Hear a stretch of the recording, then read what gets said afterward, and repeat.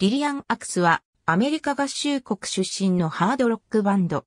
アメリカングラムメタルの流星期から活動している HR、HM バンドの一つ。一度解散するが1999年に再結成。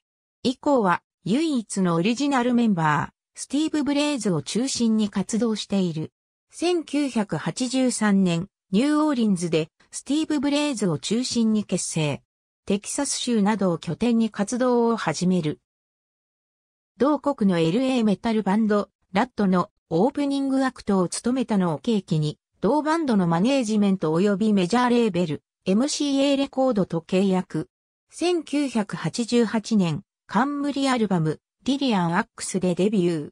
翌年リリースのセカンドアルバム、ラブ・オーが、ラットのギタリスト、ロビン・クロスビーのプロデュースで話題となるが、商業的成功に結びつかず、契約解消されてしまう。新規一転して IRS レコーズと契約し、サードアルバム、ポエティック・ジャスティス、フォースアルバム、サイコスキツェフレニアを発表。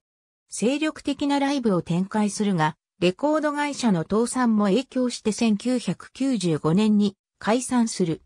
1999年、スティーブ・ブレイズはバンドを再始動させ、フィフスアルバム、 Fields of Yesterday をリリース。